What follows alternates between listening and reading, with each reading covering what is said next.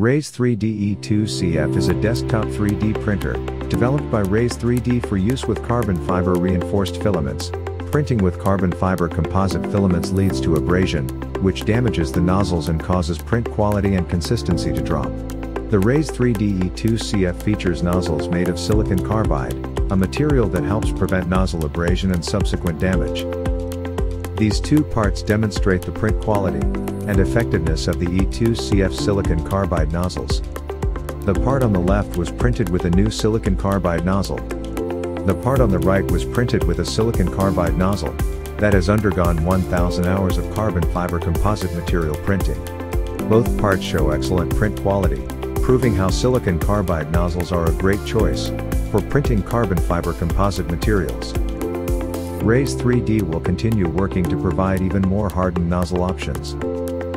The E2CF has slicing profiles that have been repeatedly tested and verified by our engineers in ideaMaker. There is no need to adjust the parameters before printing. Enjoy easy and high quality printing.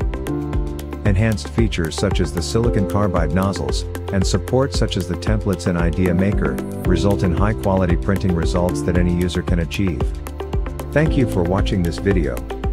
If you have any further questions, please contact Raise3D.